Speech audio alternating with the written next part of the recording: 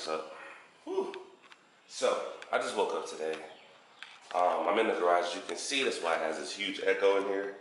I don't know if it's picking up on the camera, but it's picking up here. It's a huge echo. Um, but today, I got to clean the garage out. I got uh, a couple reviews coming today as well. Um, so you're probably gonna see me in this shirt and these shorts and all that a couple times. Um, what else? First, I gotta clean this garage. It's pretty dirty, and once I get that finished, I got some stuff to hang up.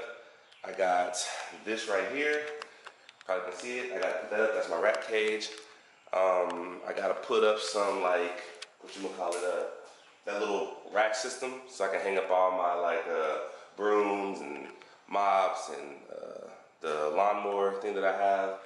I need to put that up there. Um, get it all organized in here because you know this gym is this garage is going to turn into a gym. Um, but I'll still be able to park my car on this side. So don't be taking up one space really. So that's really all I gotta do right now. I Just gotta clean this up, get it organized, and then we'll start unboxing stuff and putting stuff together so that way I can create this home gym. I'm tired of going to the gym. So much easier if you're able to have your own home gym, be able to work out at your own time. You know what I'm saying? So that's what I plan on doing right now. And uh, we can get this process started.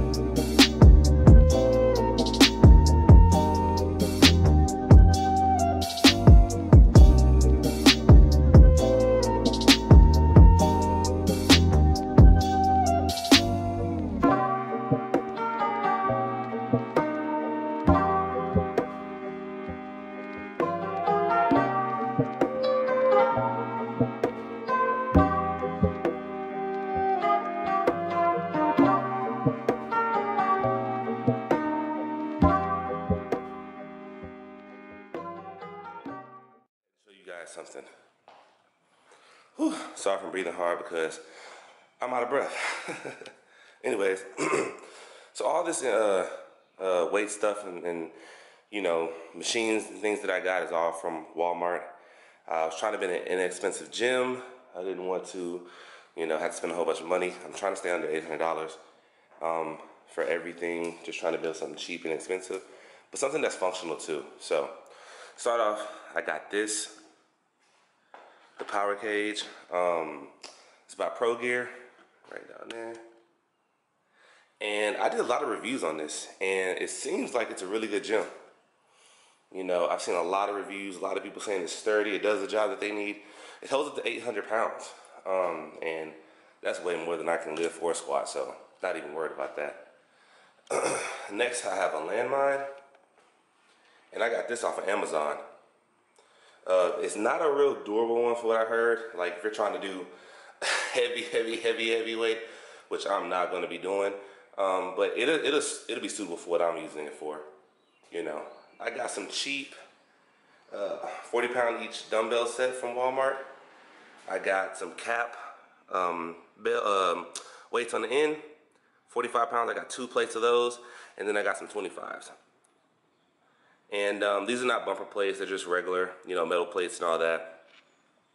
And the rest of this stuff right here is just like the, um, the clamps that go on the end of it, um, just little things here and there. That's for my setup But this is not everything. See, I only got just 245s, 225s to start with. I'm gonna get a whole bunch of more weight um, coming up. I just had to get something to start so that I can start doing bench presses and just start doing some little landline workout, landmine workouts. Just something to get me going for the time being.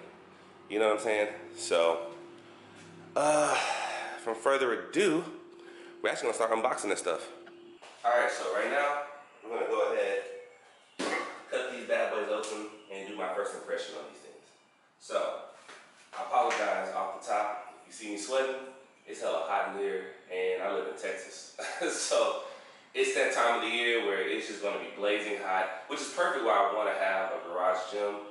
Um, just for those reasons alone, that it gets super, super, super hot. I can make this a sweat box, and I can just go in here and get a workout in, a great workout in, and not have to worry about anything. Um, if the lighting isn't too good, I apologize.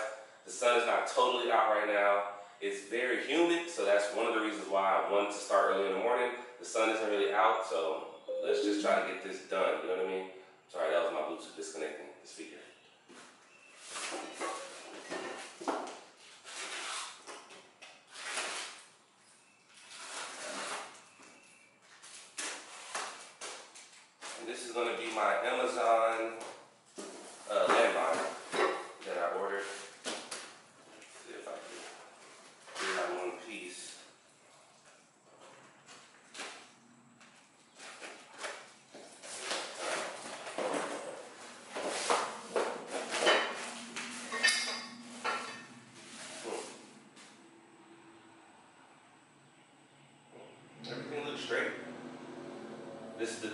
The the um the barbell goes into. I'm I had a brain fart, bro.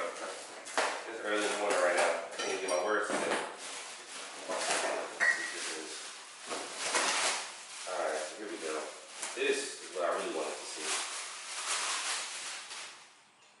Oh no, this would be the good one. Oh hell. Okay, so there was two types online on Amazon. Uh, some scratches on here, paint coming off. Probably won't be able to see it. A couple scratches where the paint's coming off, but I'm not even worried about that. This is definitely going to be in the gym, in this garage. Nobody's going to see it, and I can always spray paint it. Um, that's cool. So there was two types on there. One type was that it, it didn't it didn't have these double like uh, rings around it. It was just the actual two inch uh, cylinder attached to the bar. And I heard that if you put a lot of heavy weight on it, eventually it started breaking at the seams. Um, and then there was this version as well that had the two rings for added support. And if you bought them separate, you could get two rings. If you bought it as a combo package, the the actual landline uh, bottom part that secures the base, and get this, they were going to give you the cheaper version. Well, actually getting this out of the box, this is not the cheaper version. This is actually the more heavy duty one. Now I'm sure this can't hold, I don't know, six, seven hundred pounds of landmine presses and things like that over time, but I'm not gonna be doing that anyways. Maybe 245s one at a time and just really getting some workouts and getting a lot of reps. So first impressions, I'm actually excited about this. This is not bad at all. Not bad at all. And then we also have the base so this is gonna be perfect. I'm probably gonna slide this up against the wall or I'm gonna mount it underneath one of the legs um, on my rack system, which is probably what I'm gonna do so it stays sturdy. There's two types. You need the other kind that goes inside of one of the, um, the weights and it'll extend out like an arm. I didn't want that one. And the reason why I don't have enough place first off, so I'm probably gonna be using them anyways. And second off, this to me feels like it'd be a lot more sturdy. I can just put it against the wall, it won't move or I can attach it to one of the beams or legs, or even make my own wood block. Put that to the wall and it won't move. So I had many, many ideas, and I was like, I feel like this is a better option, um, more universal for things that I want to do. So super happy about that. And I'll leave a link at the bottom of this video to detail everything that I bought, um, so that way you guys can see. This is straightforward. I'm not gonna open this to be honest with you until I get the gym set up. It's just um, the dumbbell set from the Gold's Gym at Walmart. It's like $38. It's uh, 40 pounds. I got this because I didn't want to bunch of dumbbells laying around like on a rack or anything because I really don't need it.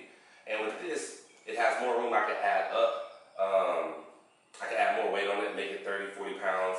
That'd be perfectly fine. If I can get 30 pounds on each, maybe even 40 pounds on each arm, I'm good. That's really all I need for what I'm trying to do. I'm just trying to tone up and build. So I won't really open this one. I'll open it later when my gym actually gets set up and it's functional, and then I'll show you this.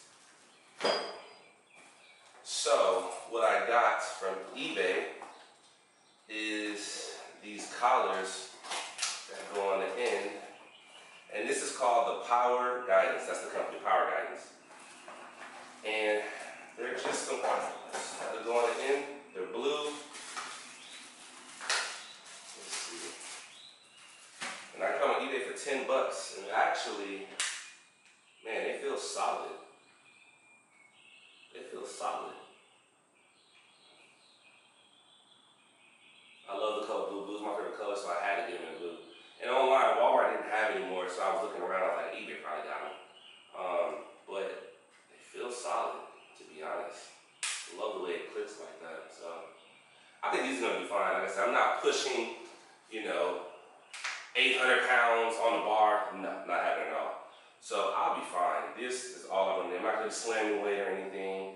Um, once I get to that point where I'm slamming weight, I'll probably get some better ones. If these feel a little wings like they're sliding, then I'll probably get some more, get some better ones.